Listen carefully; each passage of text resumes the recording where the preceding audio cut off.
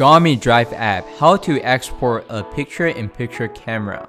Before operating the following steps, you will have to pair at least two cameras with Garmin Drive app and use them to record videos. You may watch another video to learn how to pair your camera with Garmin Drive app. Enter Garmin Drive app and select Review Footage.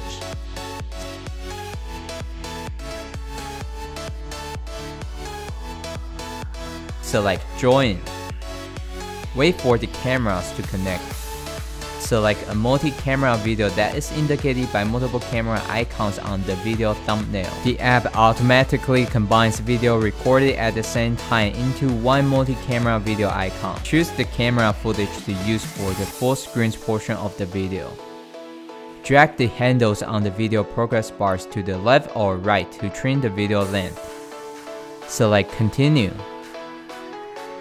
Select the corner of the screen where you want the picture-in-picture footage to appear. And select Export. Once the video is exported, you may select Save to Phone, Remove from Camera, and Share.